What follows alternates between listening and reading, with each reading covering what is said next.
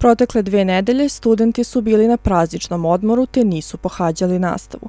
Od ponedeljka 11. januara do petka 15. januara studenti će pohađati nastavu online putem. Nakon toga od 18. januara sledi januarsko-februarski rok koji će se održati uživo, rekao Igor Firstner, direktor Visokotehničke škole strukovnih studija.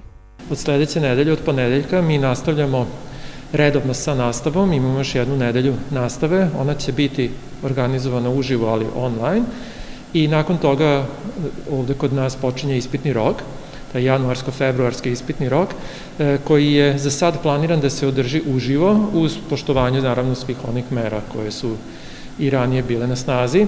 Mi imamo dovoljno prostora da to možemo da organizujemo na adekvatan način.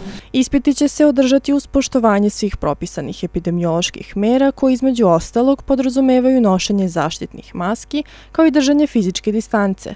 Pored toga, biće određena i vremenska razlika između ispita u toku jednog dana, rekli su iz Visokotehničke škole strukovnih studija.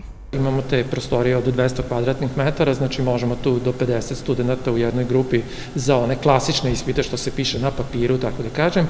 A što se tiče ispita u računarskim salama, imamo nekoliko računarskih sala, dosta velike kvadrature u koje stane do 15 do 20 studenta uz sve ove mere predostrožnosti, tako da e, imamo i neko iskustvo od perioda oktobra, novembra kada je nastavna, nastava išla i uživo i online, vidimo šta onda nije bilo u redu, napravit ćemo puno veće razmake vremenske između istih ispita, da tako kažem, Iz ove visokoškolske ustanove smatraju da je održavanje ispita uživo uz poštovanje svih mera bolje za studente jer je direktan kontakt sa profesorom tokom ispitivanja važan.